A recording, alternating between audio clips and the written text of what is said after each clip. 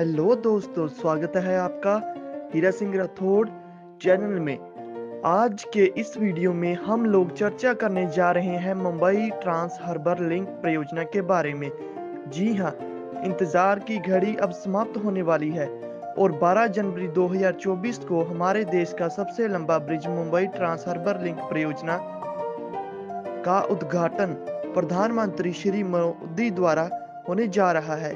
वर्तमान समय में किसी भी वाटर बॉडी के ऊपर बनने वाला यह हमारे देश का सबसे लंबा ब्रिज होगा।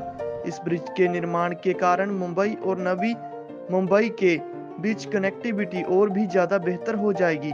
और जैसा कि आपको पता है कि वर्तमान समय में नवी मुंबई में नवी मुंबई इंटरनेशनल एयरपोर्ट का निर्माण कार्य चल रहा है।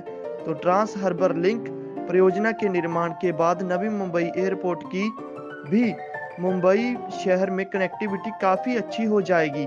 इस परियोजना के निर्माण के कारण मुंबई शहर का विकास और विस्तार पूर्व दिशा की तरफ़ और भी तेज गति से हो पाएगा। तो आज के इस वीडियो में मुंबई ट्रांस हार्बर लिंक परियोजना के ऊपर संक्षिप्त बात करेंगे। अगर वीडियो पसंद आए तो प्लीज़ कृपया करके हमारे चैनल को सब्सक्राइब करना बिल्कुल ना भूले। मुंबई ट्रांस हार्बर लिंक परियोजना की कुल लंबाई 21.8 किलोमीटर है। इस परियोजना का निर्माण Mumbai metropolitan region development authority अर्थात S M M R D A द्वारा किया जा रहा है और इस परियोजना को Atal Bihari Vajpayee trans harbour link परियोजना के नाम से भी जाना जाता है। यह परियोजना मुंबई के शेबरी से शुरू होकर नई मुंबई के चिरले गाँव के पास जाकर समाप्त होती है। वैसे इस परियोजना का निर्माण कार्य को पूरा करने की डेडलाइन दिसंबर 2023 में रखी गई थी। परंतु कुछ विलंब होने के कारण इस परियोजना को जनवरी 2024 में यातायात के लिए खोला जाएगा। वर्तमान में समय में इस परियोजना का निर्माण कार्य लगभग पूरा हो चुका है। यह एक सिक्स लेन का एक्सेस कंट्रोल्ड हाईवे ब्रिज है। आपको बता दें कि वर्तमान समय में मुंबई के सेबरी से नवी मुंबई के चिरली गाँव के बीच यात्रा दौरान लगभग एक घंटे का समय लग जाता है। परंतु मुंबई ट्रांस हार्बर लिंक परियोजना के निर्माण के बाद इस दूरी को मात्र 20 मिनट में पूरा किया जा सकेगा। ये ब्रिज सेबरी मड फ्लैट्स, पीर पाप, जेटी और थाना क्रीक से होकर गुजरती है। इस परियोजना के अंतर्गत सेबरी एंड की तरफ़ थ्री लेवल इंटरचेंज का निर्माण किया जा रहा है, जो कि इस ब्रिज को सेबरी, बर्ली, एलिवेटेड, कॉरिडोर और स्टन पेरबी से कनेक्ट करेगा और नवी मुंबई की तरफ़ दो इंटरचेंज का निर्माण किया गया है। एक शिवाजी नगर के पास और दूसरा चिरले गाँव के पास। और चिरले गाँव के पास यह परियोजना नेशनल हाईवे नंबर 348 से जाकर मिलती है। मुंबई ट्रांस हार्बर लिंक परियोजना के निर्माण की आधारशिला प्रधानमंत्री श्री नरेंद्र मोदी द्वारा दिसंबर 2016 में रखी गई थी। वर्ष 2017 में इस परियोजना के निर्माण के लिए टेंडर्स को अवांट किया गया और अप्रैल 2018 में इस पर परियोजना का निर्माण कार्य शुरू किया गया। परियोजना का निर्माण कुल चार चरणों में किया जा रहा है। इस परियोजना के पैकेज बन बन की लंबाई 10 दिसंबर 38 किलोमीटर है और इसका निर्माण एलएनटी और जापान की कंपनियाँ आई आई द्वारा किया जा रहा है। इस परियोजना के पैकेज टू की लंबाई सात दशमलव आठ किलोमीटर है और इसका निर्माण लिमिटेड और साउथ कोरिया की कंपनी देवू नसी द्वारा किया जा रहा है। परियोजना के पैकेज की लंबाई तीन दशमलव सोलह किलोमीटर है और पैकेज थ्री नवी मुंबई के शिवाजी नगर के से शुरू होकर चिरले गाँव के पास जाकर समाप्त होती है और इसका निर्माण लॉरेंस एंड टब कंस्ट्रक्शन लिमिटेड द्वारा किया जा रहा है और इस परियोजना के पैकेज फोर के अंतर्गत इंटेलिजेंट ट्रांसपोर्ट सिस्टम अर्थात आईटीटीएस का निर्माण किया जा रहा है, जिसके अंतर्गत toll and transport management system and इनपेटिवर का इंटरनेशनल किया जा रहा है। पूरे परियोजना के अंतर्गत कुल चार स्थानों पर इंटरचेंज का निर्माण किया जा रहा है।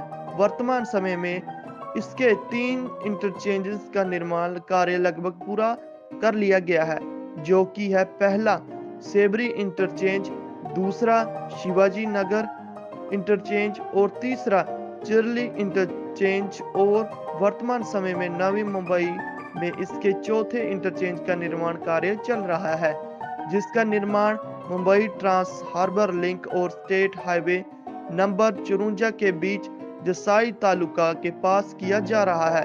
आपको बता दें कि निर्माण कार्य पूरा होने जाने के बाद इस ब्रिज पर 100 किलोमीटर प्रति घंटा की रफ्तार से वाहनों को चलाया जा सकेगा।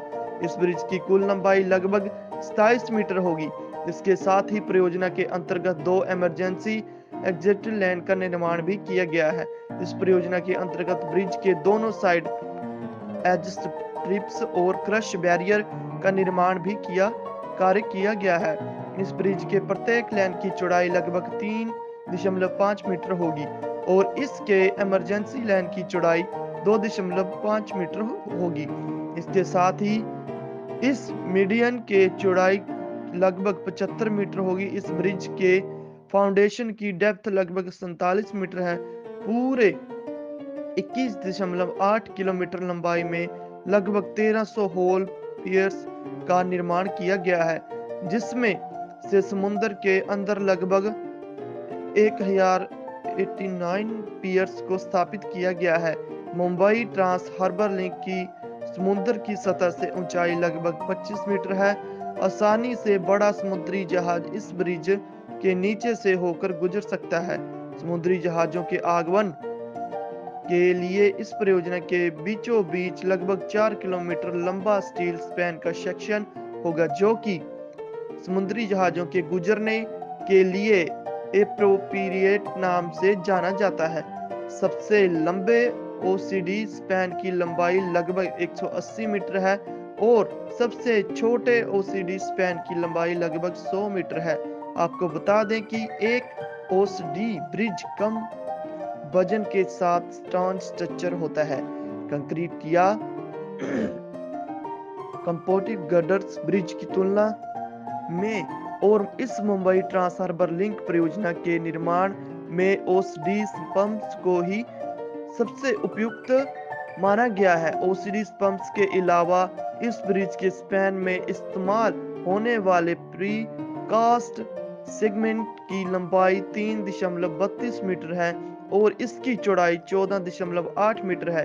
आपको यह भी बता दें कि इस परियोजना के निर्माण में लगभग 16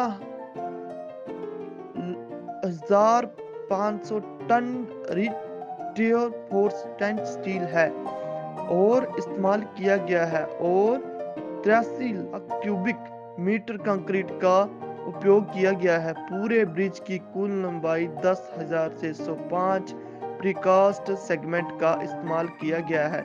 इस परियोजना में इस्तेमाल किए गए कुल स्टील से ना से अधिक हावड़ा ब्रिजेज का निर्माण भी किया जा सकता है। इस परियोजना के पैकेज वन के अंतर्गत बन रहे इंटरस्टॉल्ड पोर्शन की लंबाई लगभग दो दशमलव नौ किलोमीटर होगी और मरीन पोर्शन की लंबाई छह दशमलव अठानवे किलोमीटर होगी। आपको यह भी बताएँ कि इस परियोजना को इस प्रकार से डिज़ाइन किया गया है कि यह कम से कम 100 सालों तक आसानी से टिका रहेगा।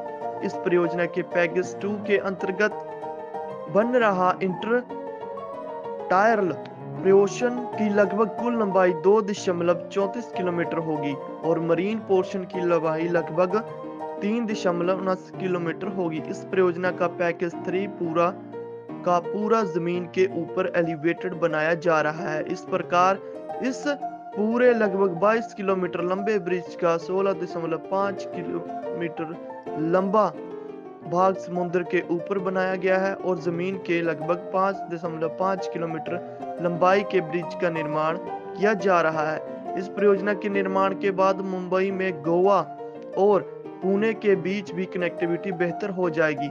इस पूरे परियोजना के लगभग आठ हज़ार आठ सौ तरतालीस करोड़ खर्च किया जा रहा है और अब 12 जनवरी 2024 को इस परियोजना का उद्घाटन देश के प्रधानमंत्री श्री नरेंद्र मोदी द्वारा किया जाना है। तो आज की इस वीडियो में इतना ही स्क्रीन पर देख रहे हैं वीडियो पर करके मोदी सरकार पिछले 10 साल में कंप्लीटेड 100 परियोजनाओं के बारे में अवश्य जान। लें अगर वीडियो पसंद आए तो वीडियो को प्लीज़ करें लाइक और चैनल को सब्सक्राइब करना ना भूलना। जय हिंद, जय भारत, जय